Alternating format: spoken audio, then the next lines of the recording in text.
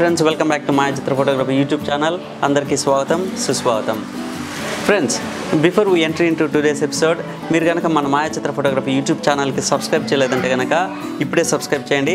అలాగే uh, మీ ఫ్రెండ్స్కి whoever is interested in photography వాళ్ళతోటి షేర్ చేసుకోండి. Okay all right so basically ఈరోజు మన ఎపిసోడ్ చేయడానికి మెయిన్ రీజన్ ఏంటంటే one of you one of our friends Chakri comments ద్వారా తను అడిగిన ప్రశ్న చాలా ఇంట్రెస్టింగ్గాను చాలా ఇంపార్టెంట్ కూడా అనిపించింది అనమాట I thought this is very important to know and this is very important to get that clarified ఎందుకంటే ఆ ప్రశ్న ప్రతి బిగినర్లోనూ వచ్చే క్వశ్చన్ అయి ఉంటుంది అండ్ రావాల్సిన ప్రశ్న కూడా.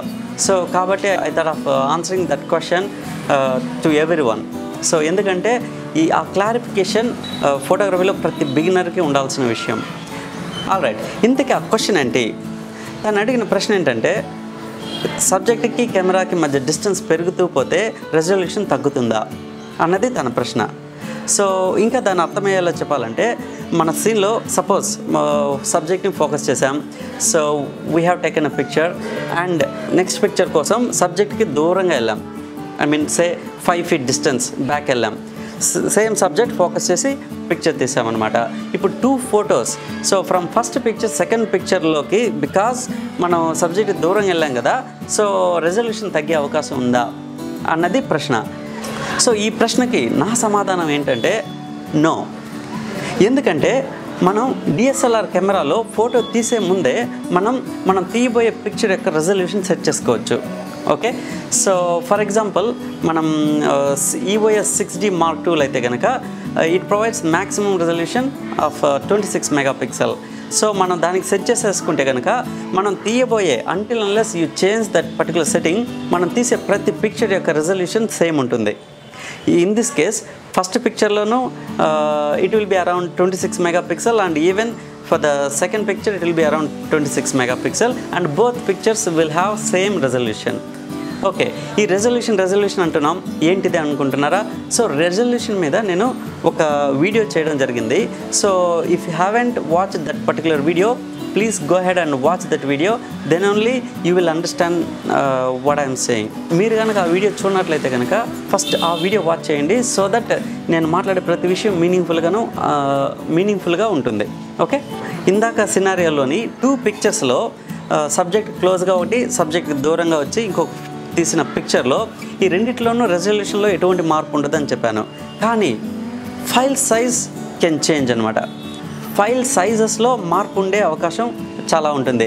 అది కూడా ఆ ఫైల్ సైజ్ ఎలా మారచ్చు అంటే డిస్టెన్స్తో పాటు తగ్గొచ్చు పెరగచ్చు. So for example first photo first పిక్చర్తో పోలిస్తే సెకండ్ పిక్చర్ యొక్క ఫైల్ సైజ్ పెద్దగా ఉండొచ్చు ఎక్కువగా ఉండొచ్చు. At the same time it can be vice versa first పిక్చర్తో పోలిస్తే సెకండ్ పిక్చర్ యొక్క ఫైల్ సైజ్ చిన్నగా ఉండొచ్చు. ఎందుకు ఇలా ఫైల్ సైజ్లో మార్పు ఉందంటే కనుక it depends on N number of factors it can be exposure it can be the details that we're shooting okay? And ఇట్ it can be the shadows it can be highlights the highlights and be it can be the complexity of the picture that we are taking. So it can be the colours involved in the picture first పిక్చర్తో పోలిస్తే second పిక్చర్లో ఉండే కలర్స్లో ఉన్న differences and ఇందాక చెప్పిన వాటిలో differences వల్ల మనకి ఈ మార్పులు ఏదో తక్కువగాను ఎక్కువగాను వచ్చే అవకాశం ఉంటుందన్నమాట. సో దీన్ని ప్రాక్టికల్గా మనం విత్ ఫ్యూ ఎగ్జాంపుల్స్ చూద్దాం. ఓకే సో ఆల్ రైట్ ఇక్కడ చూస్తే కనుక మనకి సిక్స్ డిఫరెంట్ ఫొటోస్ నేను తీయడం జరిగిందనమాట. ఇదేమో వన్ సెట్ ఇదేమో అనదర్ సెట్ ఈ one set first one set ఏంటంటే ఫస్ట్ సబ్జెక్ట్ క్లోజ్గా ఉండి దెన్ సబ్జెక్ట్ నుంచి దూరంగా జరుగుతూ ఫోటో తీయడం జరిగింది.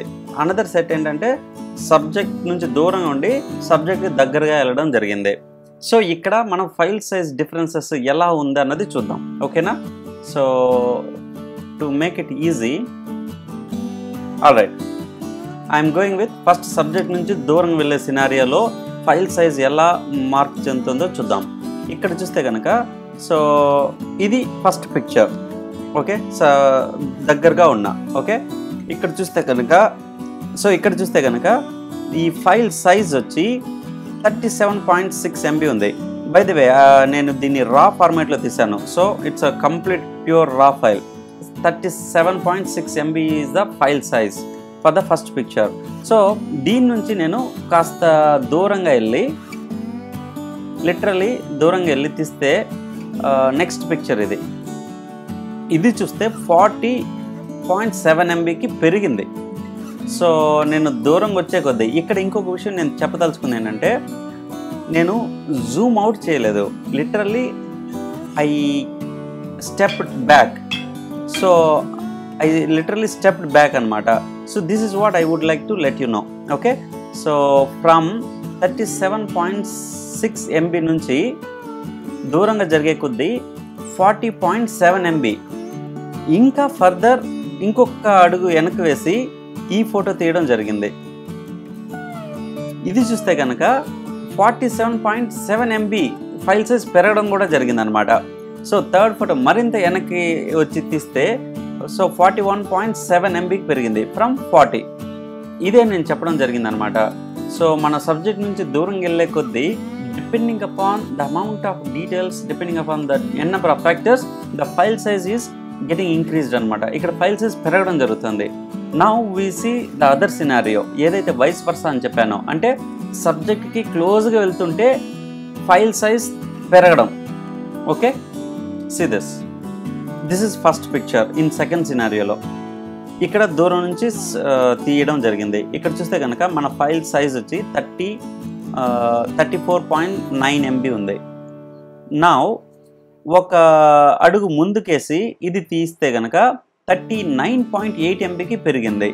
ఇంకా నెక్స్ట్ థర్డ్ పిక్చర్లో మరింత కాస్త ముందుకు వెళ్ళడం జరిగింది. ఇక్కడ చూస్తే కనుక forty point one MB file size పెరిగింది. సో ఈ సినారీలో ఏం జరుగుతుంది? సబ్జెక్ట్కి దగ్గర వెళ్ళే కొద్దీ ఫైల్ సైజ్ పెరుగుతుంది. వేరే ఫస్ట్ సినారియో సబ్జెక్ట్ నుంచి దూరం వెళ్ళే కొద్దీ ఫైల్ సైజ్ పెరుగుతుంది.